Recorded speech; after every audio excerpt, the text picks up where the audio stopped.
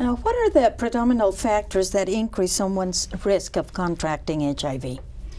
Well, as you mentioned when the program started, Jasmine, one of the primary risks is unprotected sex with multiple partners, particularly when you don't know the status of your partners. Mm-hmm. That alone will increase your risk tremendously.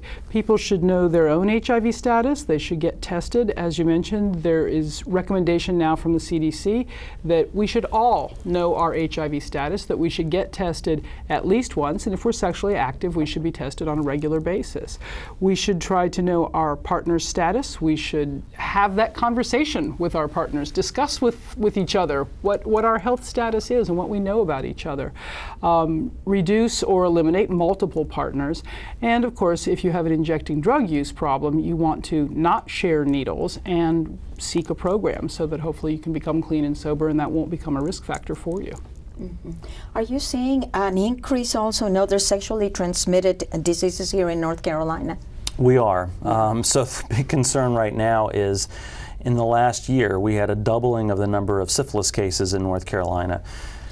We had um, hit very high levels back in the early 90s. The number of cases of syphilis came down back in 1998. We started syphilis elimination in North Carolina. In 2003, we had an historic low in the number of cases.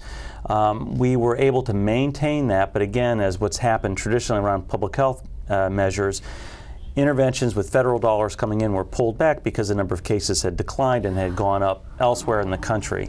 So we saw a significant erosion of funding and support for community-based organizations doing work, doing testing and education around syphilis.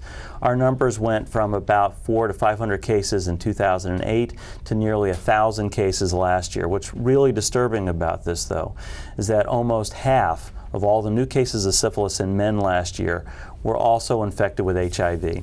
Um, and so we're seeing a new epidemic of dual infection, folks who are newly uh, diagnosed with HIV, also recently acquiring syphilis.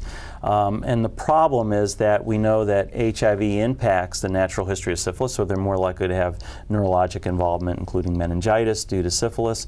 We know that syphilis increases the risk of transmitting HIV.